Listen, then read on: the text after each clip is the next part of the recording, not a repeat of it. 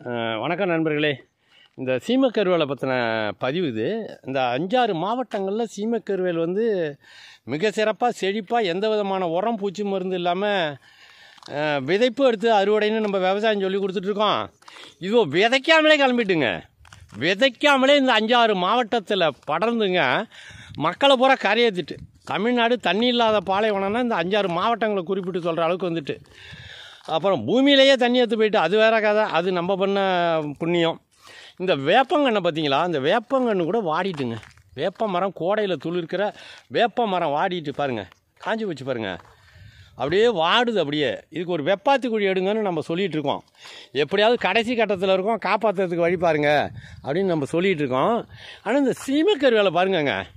என்னமோ DAP urea potash எல்லாம் சரி விகிதமாக பார்த்து வே வேளாண்மை துறையில் ஆராய்ச்சி பண்ணி கண்டுபிடிச்சி திசு கல்ச்சர் பா இந்த பயாலஜிலாம் படித்தவங்க வந்து ரொம்ப தீவிரமாக ஆராய்ச்சி பண்ணி கண்டுபிடிச்சி ஊட்டச்சத்தெல்லாம் போட்டு இருபத்தி நாலு மணி நேரமும் தண்ணி பாய்ச்சினா சொட்டு நீர் பாய்ச்சினா கூட மாரி வராது போல இருக்குங்க தாவரங்கள். அந்த மாதிரி துளிர பாருங்கங்க இந்த கடும் கோடையில். என்னதாங்க மாய வித்தை கற்று வச்சுருக்கு? இது மாதிரி ஏங்க நம்ம பயிரெலாம் வரமாட்டுது? அதாங்க இந்த காற்றுல இருக்கிற ஈரத்தை உறிஞ்சி தண்ணியை மாற்றுறோன்னு ஒரு மிஷின் கண்டுபிடிச்சாங்க பார்த்தீங்களா இப்போ கண்டுபிடிச்சி பேர் வாங்கியிருக்காங்களே. காற்றுல ஈரம் இருந்தாலே போதும் நீங்கள் பாலைவனத்தில் கூட தண்ணி குடிக்கலாம். அந்த மாதிரி ஒரு எந்திரத்தை கண்டுபிடிச்சிருக்காங்க. அதே தொழில்நுட்பத்தை இந்த மரங்கள் பயன்படுத்துதுங்க. காற்றுல உள்ள ஈரத்தெல்லாம் உறிஞ்சிக்க வேண்டியது. சூரியன் வந்ததும் ஒளிச்சேர்க்கை பண்ண வேண்டியது. அந்த ஈரத்தை உறிஞ்சி வச்சுக்கிட்டு. அடுத்தது சூரியன் மறைஞ்ச உடனே திருப்பி என்ன செய்ய வேண்டியது? காற்றுல இருக்கிற ஈரத்தை உறிஞ்ச வேண்டியது. அடுத்தது திருப்பி சூரியன் ம- வந்த உடனே ஒளிச்சேர்க்கை நடத்த வேண்டியது. இப்படி தாங்க இது வளருது. இப்படி தான் வளருது. இந்த பூமியவே உண்டு இல்லைன்னு நாங்கள் பார்க்குறோங்குது விதை போடாமலே கிளம்புதுங்க உலகம் பூரா.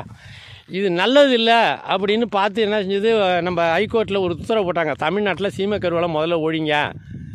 ஏரியிலலாம் பூந்துட்டு ஒழிங்க. இந்த மக்களோட வாழ்வாதாரம் அழியுதுன்னு. அதை எதிர்த்து நாலஞ்சு புண்ணியம் புண்ணியம் செஞ்சவங்க கொ- புண்ணியம் செய்கிறவங்க கேஸ் போட்டாங்க. நிறைய உயிர்கள் அதுக்கு கீழே இருக்குது மிகப்பெரிய எரிபொருள் கிடைக்குது. மக்களோட வாழ்வாதாரம் ஒன்றுமே இல்லாதவனுக்கு அது வாழ்க்கை ஆதாரமாக இருக்குது அதனால் அதை தடுக்கக்கூடாது. அதுவும் ஒரு உயிர் ஜீவகாருண்யத்தை பார்க்காம நீங்கள் எல்லாம் நீதி வழங்குறீங்க. அதனால் அதெல்லாம் கொல்லக்கூடாதுன்னு சொல்லிட்டாங்க. அதனால் அந்த உத்தரவுக்கு வந்து தடை உத்தரவு த- தடுப்பு மனு போட்டாங்க. அதனால் சீமை கருவேலை அரசாங்கம் ஒழிக்க முடியாதபடி பண்ணிட்டாங்க. சரியா?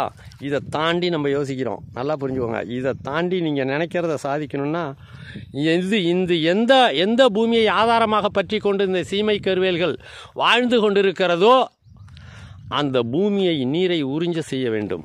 சரியா? அதுக்கு தான் வெப்பாத்தி குழி வரப்போ உயர்த்தணும். உயர்த்திட்டிங்கன்னா பூமியே தண்ணியை பிடிச்சி இழுக்கும்.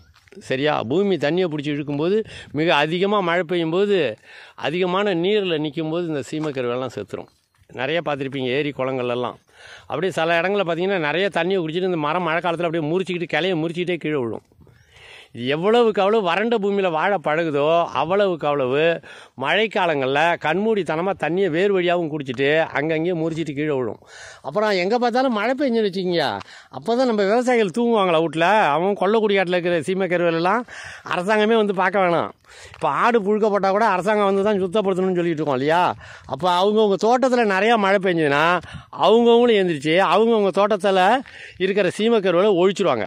அரசாங்கத்துக்கு செலவே இல்லாமல் அவங்கவுங்க நிலம் உள்ளவங்கள்லாம் நிலத்தில் உள்ள சீமை கருவலை ஒழிச்சிட்டு வெள்ளாமை பண்ண ஆரம்பிச்சிருவாங்க. அப்போது தானாகவே சீமை கருவில் எல்லா மனிதர்களும் ஒன்று சேரும்போது ஒழிஞ்சிரும்.